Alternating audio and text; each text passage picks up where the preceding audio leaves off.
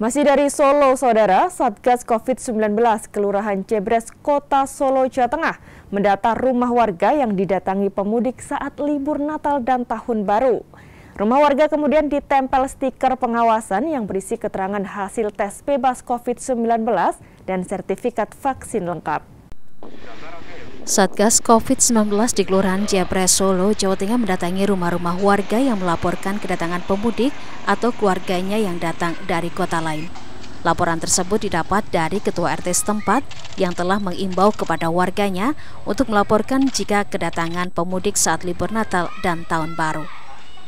Petugas yang terdiri dari anggota Linmas dan kepolisian memeriksa surat kelengkapan pemudik di antaranya surat keterangan negatif COVID-19 dan sertifikat vaksin dosis lengkap.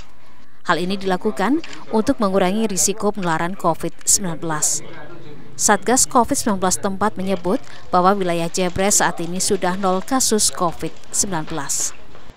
Mana untuk menindaklanjuti instruksi dari Bapak Wali Kota. Nah, kita di lapangan tentunya koordinasi dengan Dimas juga, Pak RT, Pak RW, kita mohon info kalau ada pemudik nyun tolong diinformasikan. Karena tentunya Alhamdulillah untuk saat ini di wilayah Kelurahan Jebres kan nol ya, nol kasus.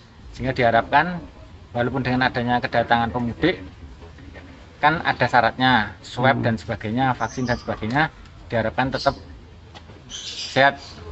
Jangan sampai dengan adanya pemudik yang tidak swab dan sebagainya malah akan menambah kasus baru di wilayah Kelurahan Jebres. Petugas Linmas akan terus berpatroli untuk memastikan tidak ada pendatang yang melanggar aturan.